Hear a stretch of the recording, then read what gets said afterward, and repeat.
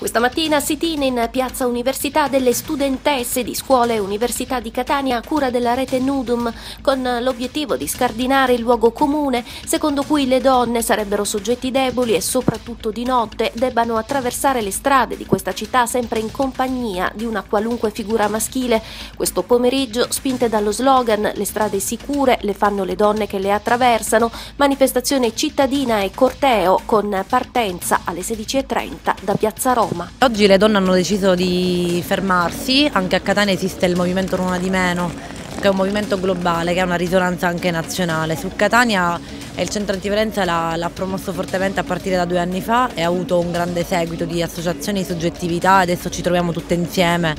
eh, per questa giornata di lotta, una giornata di, di rivendicazione di diritti in cui vogliamo affermare appunto l'8 marzo come una giornata di lotta e non di festa come amano spacciarcela. Eh, la, il centro antiviolenza ha deciso di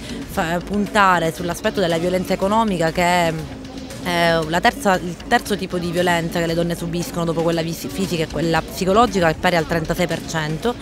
e la violenza economica è un deterrente fondamentale perché poi è spesso la, eh, quello che eh, blocca le donne rispetto all'inizio di un percorso di fuoriuscita dalla violenza o più semplicemente la denuncia perché eh, stare sotto il ricatto economico di, il proprio, del proprio compagno del proprio marito le mette in difficoltà rispetto alla scelta di decidere. Questo per noi è un momento fondamentale e invitiamo tutte le donne, quante più donne possibili, a dire basta, a dire basta alle molestie sul lavoro, a dire basta ai soprusi, a dire basta alle, alle violenze, perché chiediamo appunto che finalmente ci possa essere una parità di diritti.